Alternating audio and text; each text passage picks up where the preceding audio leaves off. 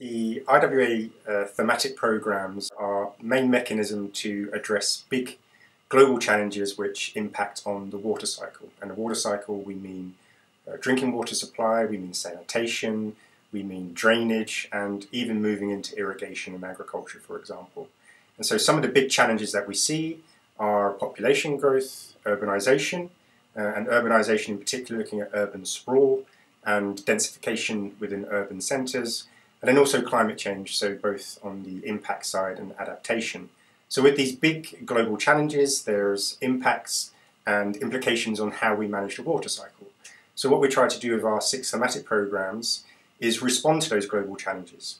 And those responses are very much tailored working with partners um, to reach new constituencies. Uh, one good example is uh, the World Health Organization.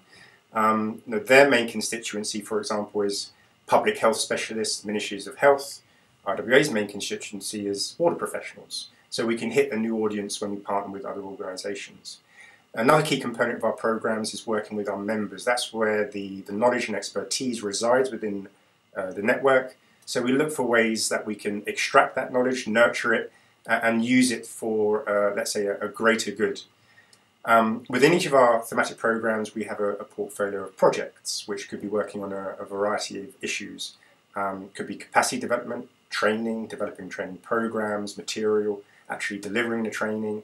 It could be policy development, working with an international group of experts to form uh, an international framework for managing drinking water supply, sanitation management, for example, which can then be adapted for, for local circumstances.